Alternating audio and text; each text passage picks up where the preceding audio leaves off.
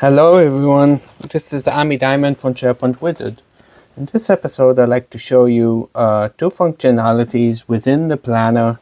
Uh, one is to add the whole plan to Outlook calendar and the second one is to how to add my tasks that are assigned to me also to uh, Outlook calendar. So let's start. I'm now in the Teams uh, planner app but it's also available on the web so what we see here is this is my day, but if I go to uh, my plans, I can go to one of the plans. And actually, if I uh, click on this drop down, I will see add plan to Outlook calendar. Once we do this, we see that the first option is don't publish, keep private. And if we click for publish, it will be shared for everyone. So one um, a reminder is actually, uh, it says that if anyone has this link, they will have access. So you need to be aware um, to share the link very uh, securely. So once we had also a button here to add to Outlook, for some reason it doesn't exist. So what I will do is I will just copy this. Um, now what I will do is go to the Outlook web. I will go to the calendar and I will click on add calendar. Here I will choose subscribe from web. I will enter this URL. I'll give it a name. Let's call this plan one. I can choose a color and a charm and I can choose where I want to add it. So let's add it to other calendars. I will click import and now I should see if I go now to my calendar, I have plan one. I can mark it if it's not marked. And here we go. And you see here, I see uh, all of the tasks I have. Um, as you notice, I can see the progress status, the checklist. And if I click on it, I can uh, go to the planner item. Um, now, uh, remind me later to tell you something about the status because I found out if you change uh, the status, then for some reason it doesn't update uh, directly.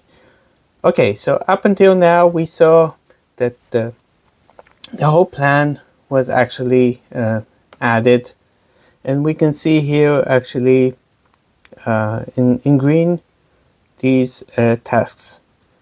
So um, now let's try to add uh, tasks that are assigned to me. So what I need to do is actually go to my tasks and if I'm in all I need to choose assigned to me. You see some tasks I have in the plan project management, the other demo army plan, another one in employee onboarding. And if I go to the three dots here, I will now see a new functionality add assigned to me to Outlook. So I will click on this. Again, I can choose to publish. The URL will be created. I will copy it. And I again, I will go to, to the Outlook. I will click go to the calendar, add a calendar, subscribe from web. And here I will write tasks uh, my tasks. Here I'll choose a different color and uh, let's choose a charm. And let's keep it on other calendar. And I will click import. Now everything is closed. Let's see you see these red ones are actually the ones that are assigned to me. Um, as you can see, if I go in, I can see uh, more details. Now let's just test what happens is. So if I, as you can see here, um, for instance, today there's a, a document scope management plan and it's not started.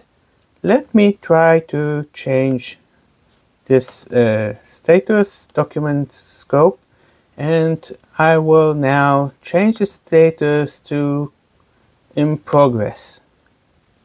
So it's in, in, in progress here and if I now click on uh, this thing it hasn't changed now maybe it updates once in a while but I'm not sure uh, if it does that let's try to do something different. Let's move the date to a different date. So instead of the 12th let's move it to the 13th this should be uh, important. If it doesn't update then we're then it's not that good. So uh, let's try to refresh here. Hopefully it should be moved. Currently I see it hasn't moved but um, hopefully it will uh, be updated very soon so let me just go in uh, this is the thing that which I'm checking but uh, you need to follow and see if it's something that will be updated. Maybe it's hourly, maybe it's daily, or maybe uh, this is how it is. So let me just refresh and see if it's something which will change.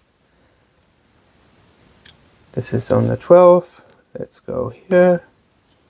And this is on the 13th. Maybe I need to refresh as well this thing.